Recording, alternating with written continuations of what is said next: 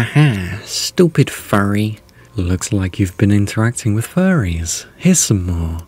Huh? Love, can you call me babe? Oh, uh, sure thing, babe. Um, never mind. Wait, what did I do wrong?